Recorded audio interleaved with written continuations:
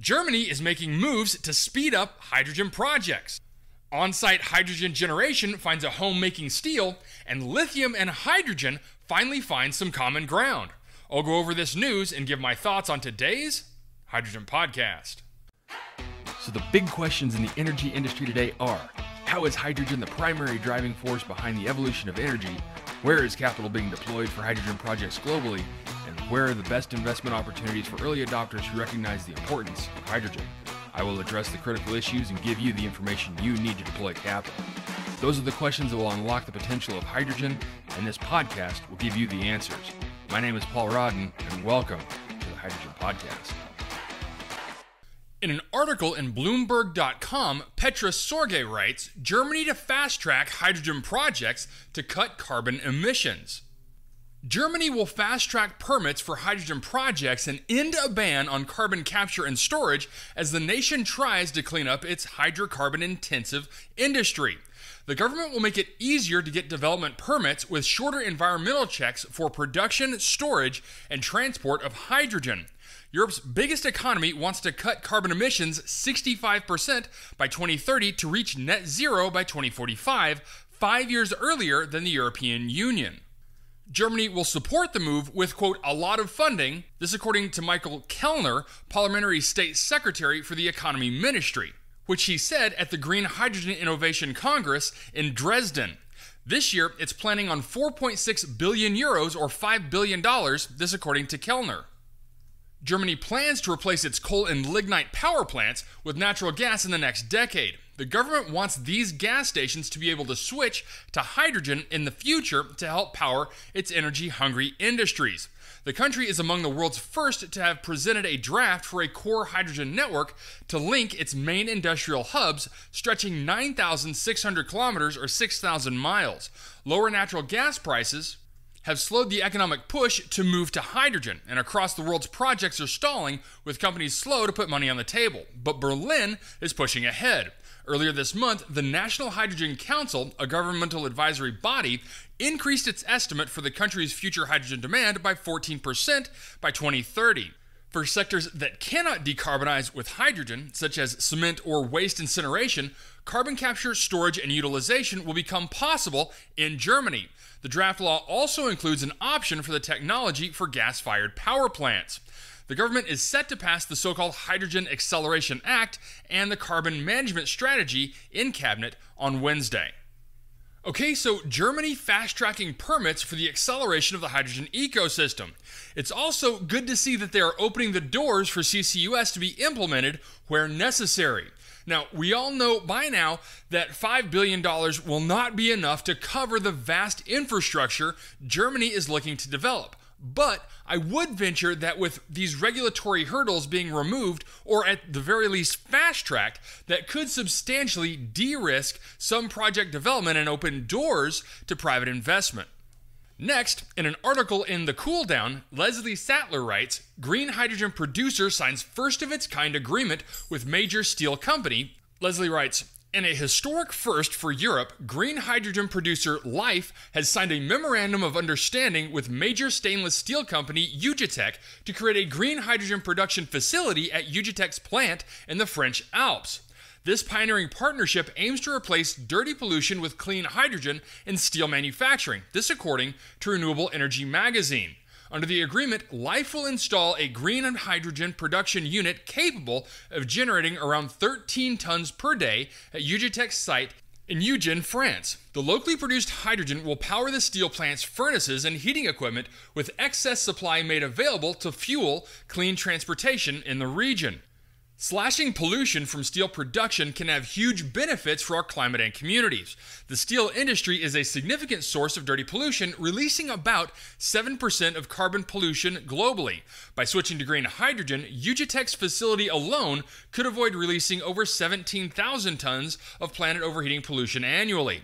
On a wider scale, expanding the use of pollution free hydrogen in heavy industry is critical for protecting our families from the devastating impacts of rising global temperatures, from increasingly severe floods, droughts, and heat waves to threats to our food supply. It's exciting to see a leading steel company like Ugitech, which produces 220,000 tons of steel each year, taking bold steps to go green. What's more, the Ugine plant is located in the heart of the 2030 Winter Olympics zone. So, in addition to slashing its pollution, this project can contribute to a more sustainable model for the Games and winter tourism in the Alps. It's a win win for the climate and the economy. In a quote from Philippe Desorme, Vice Chief Executive Officer at Lhyfe, the steel sector is a major consumer of hydrocarbons and is one of the industrial sectors that should be decarbonized as a priority. The energy transition is going to become increasingly necessary to ensure the long term survival of our industries, and green hydrogen is emerging as one of the pillars of this transition. Frederic Perret, Director of Development at Ugitech, noted their company is running a multi year HyDreams project to validate that hydrogen combustion will have no negative impact on processes and products in steelmaking, saying the next step is to roll out this new solution to all systems for which direct electrification is not a compatible option. This is the purpose of this Memorandum of Understanding with Lhyfe. The two companies will now conduct a feasibility study before moving forward with the hydrogen plant's construction and financing. Here's to hoping this groundbreaking partnership inspires more heavy industry leaders to forge a cleaner path forward. Okay, so Ugitech will leverage on site generated green hydrogen for their power needs with excess hydrogen flowing into the community for various applications and potentially leveraged in their upcoming Olympics. And it wouldn't be the first time hydrogen was used in the Olympics as Japan relied heavily on it for their last Olympics. But what I'm keying in on from this MOU is something that I'm seeing more and more in project announcements, and that is using smaller units putting out anywhere from 5 to 15 tons per day of hydrogen for local applications. In this case, a steel factory, but I'm also hearing of these applications in hydrogen refueling locations and other decarbonization projects, all of which are leveraging different technologies and feedstocks to generate their hydrogen. Large scale projects are obviously needed and will continue to develop, but these smaller applications play a very important role in building out the hydrogen economy. Next, in a press release on June 4th, Green Lithium partners with EDF to produce low carbon lithium using green hydrogen in Teesside, UK.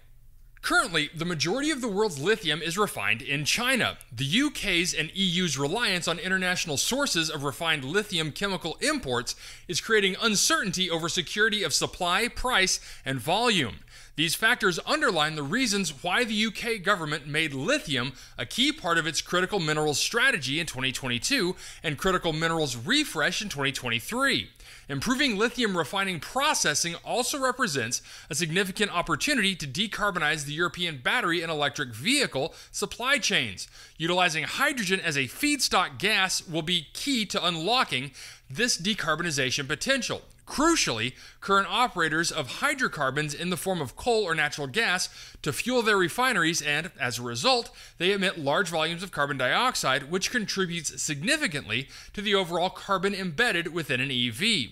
Replacing hydrocarbons with green hydrogen is part of Green Lithium's carbon reduction strategy for its Teesside refinery. Overall, this has the potential to reduce emission levels by 75% compared to refineries outside the UK.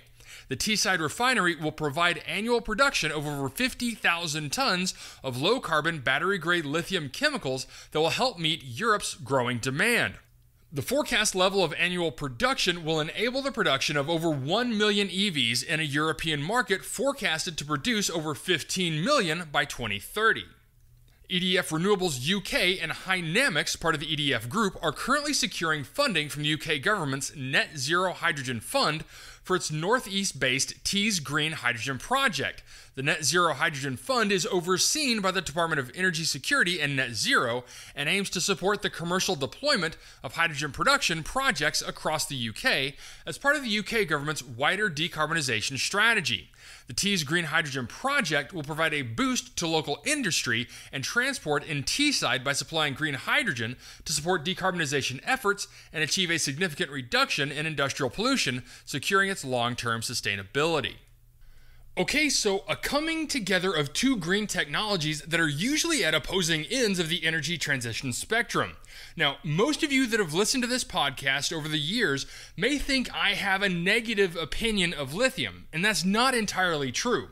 I believe battery technology has a very prominent role to play in our energy future. I just happen to believe that transportation is best handled with hydrogen.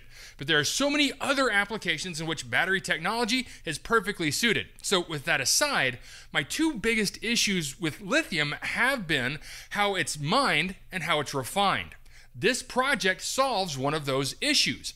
By leveraging hydrogen for the lithium refining process, they will drastically reduce the carbon emissions of that battery development. And not only that, but by developing the lithium in the UK, the environmental and economic cost reduction of removing the transportation of the lithium from China is a huge benefit.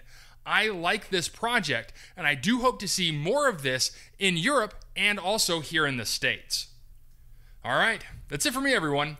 If you have a second, I would really appreciate it if you could leave a good review on whatever platform it is that you listen to Apple Podcasts, Spotify, Google, YouTube, whatever it is. That would be a tremendous help to the show. And as always, if you ever have any feedback, you're going to email me directly at info at hydrogenpodcast.com. So until next time, keep your eyes up and honor one another. Hey, this is Paul. I hope you liked this podcast. If you did and want to hear more, I'd appreciate it if you would either subscribe to this channel on YouTube or connect with your favorite platform through my website at www.thehydrogenpodcast.com. Thanks for listening. I very much appreciate it. Have a great day.